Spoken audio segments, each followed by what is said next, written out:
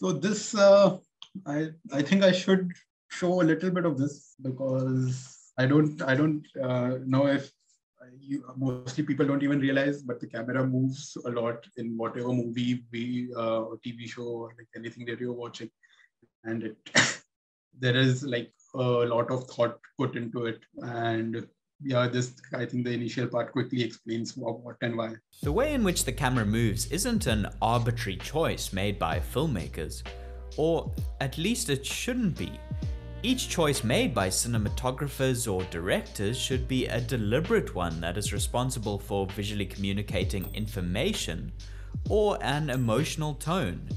From early on in cinema, people worked out that the camera presents a point of view and that moving the position of the camera in different ways during a shot can have different effects on how that shot is perceived by audiences.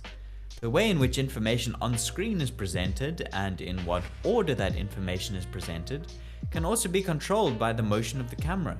So today I thought I'll look at four common types of camera movement, go over how they are technically achieved with what gear, and uncover how each can be used to communicate different emotional tones so um, that's that i don't want to go into much details right now because but it's again uh, if you're no matter what kind of project that you're working on you will always have the option of moving the camera but at the same time it's like why? And even if you get the answer for why you will have to figure out how the how of it.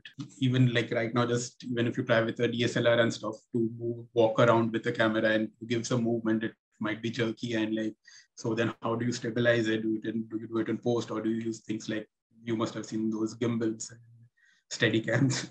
so, okay, it's another aspect in itself.